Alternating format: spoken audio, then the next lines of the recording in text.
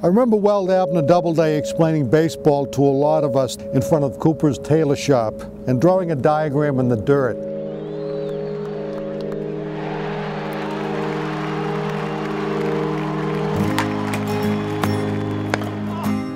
When the question was first put to me about Jane Austen referring to baseball, I thought, this really can't be said. But I tell you, Graves, I know it will be a good game. He's had his three strikes uh, and he's out. I'm motivated by this idea of the games almost having been separated at birth.